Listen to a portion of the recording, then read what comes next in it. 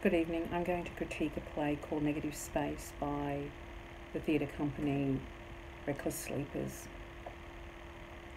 Whilst I critique, I will refer back to what radical theatre is, what postdramatic theatre is, um, what intermedial theatre means, and audience activation in theatre.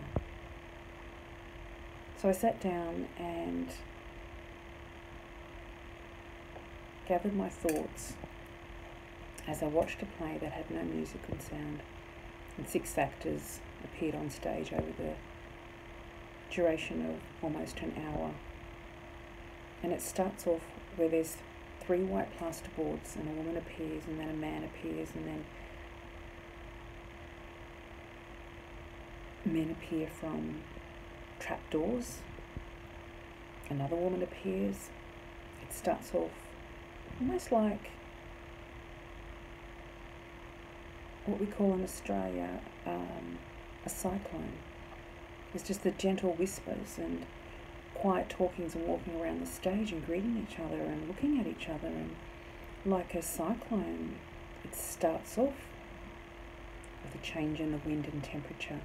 And the movement around the room shows that. And so, like a cyclone, it builds to a crescendo so these six actors end up, these six people who are dressed like they're going to a, a day at the office, start pulling apart this set, smashing it with their bodies, smashing it with hammers, racing past each other. And then out of nowhere, this beautiful rose appears. And you think, that took me down another path. At times it's funny, at times it's captivating, and like what radical theatre represents is that challenging perception of what normal theatre is, where there's a storyline and it's all connected and you have an outcome at the end.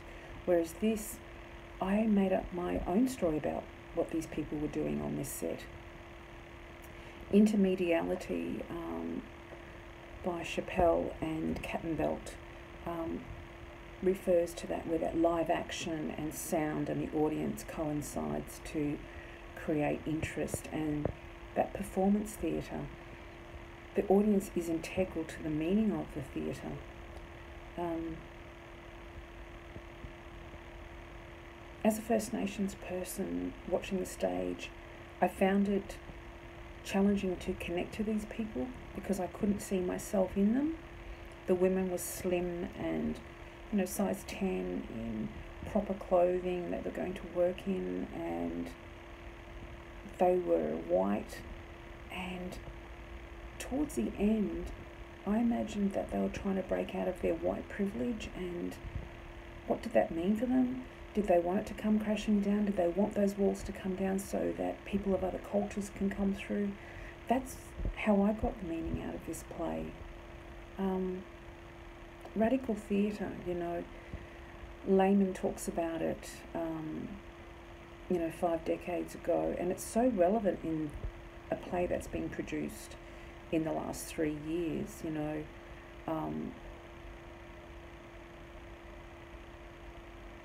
this could have been set um, in a factory, but it's on a stage, and you feel like you're privy to what white privilege looks like.